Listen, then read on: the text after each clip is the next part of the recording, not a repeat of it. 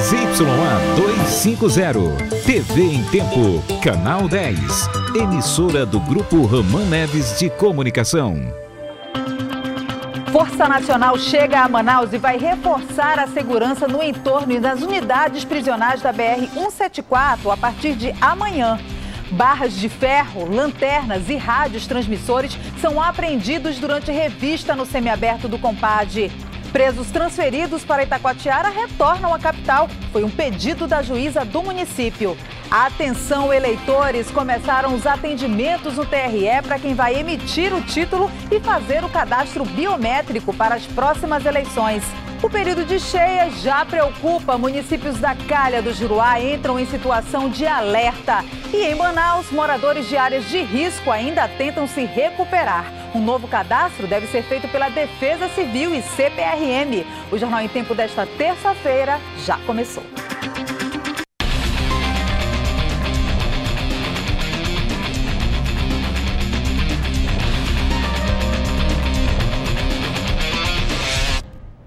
Olá, muito boa noite para você. A Força Nacional já está na cidade para reforçar a segurança. Quase 100 homens chegaram hoje e nessa terça-feira também foi um dia de revista no regime semiaberto do Compage com a ajuda do Exército. Além disso, os presos que haviam sido transferidos para Itacoatiara já retornaram a Manaus. Foi um pedido da juíza do município. Os presos retornaram em carros da PM e em uma van da Secretaria de Administração Penitenciária. Foram quatro horas de viagem até Manaus. Na cadeia, os detentos aguardaram quase meia hora dentro dos carros. Não é para deixar a gente entrar para dentro da cadeia, vão matar nós. E chegaram a trocar ameaças entre eles. Vou morrer também, dois seu safado. Depois, tiveram de sair para passar por exames no hospital de custódia que fica ao lado, segundo agentes penitenciários.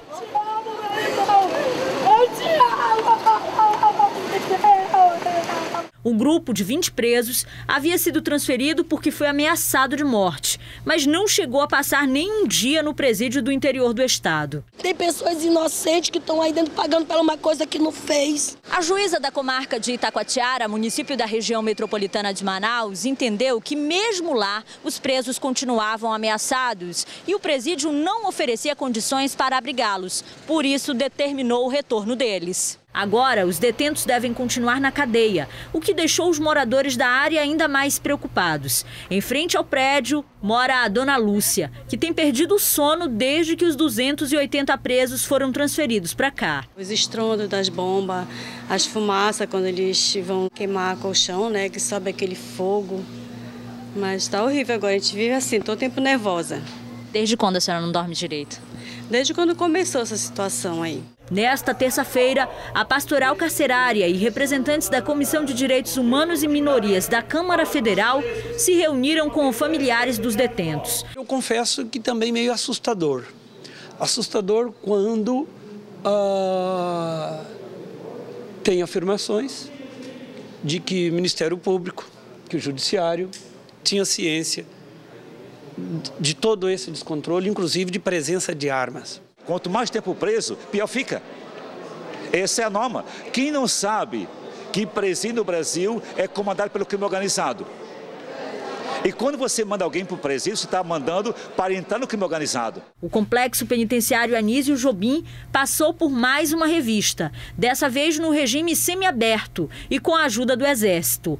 Os militares usaram detectores de metais. Foram apreendidos martelos e facões, rádios transmissores e ferramentas que poderiam ser usadas como armas. O diretor interino do complexo penitenciário Anísio Jobim, José Carvalho da Silva, foi afastado do cargo. Ele foi acusado de receber dinheiro de uma facção criminosa para facilitar a entrada de armas e telefones celulares na penitenciária. A Força Nacional, solicitada pelo governo, já está na cidade e deve ajudar na guarda dos presídios. 99 homens vão reforçar a segurança. Eles estavam em missão no Rio de Janeiro e foram destacados para Manaus. A Força Nacional usa o próprio armamento. Um homem invadiu um posto de combustíveis no Boulevard, zona centro-sul da cidade. Ele fez dois frentistas e uma balconista reféns no local. A ação começou na noite de ontem e só terminou na madrugada de hoje.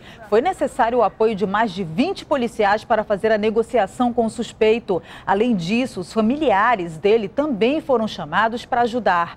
O assaltante, que era um dos foragidos do Compage, foi preso.